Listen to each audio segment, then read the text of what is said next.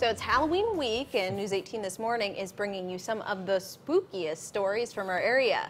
You may remember last year we brought you the story of a man who cut off his own head with a guillotine in the Lahr House and the story of the last public executions in Tippecanoe County. Well, today we bring you the story of the Pythian home through the words of the co-author of the book Haunted Lafayette.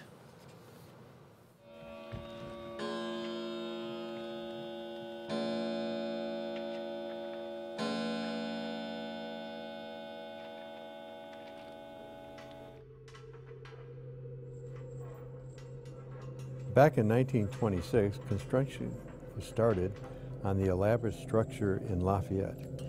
The Knights of Pythias built a large building on the south side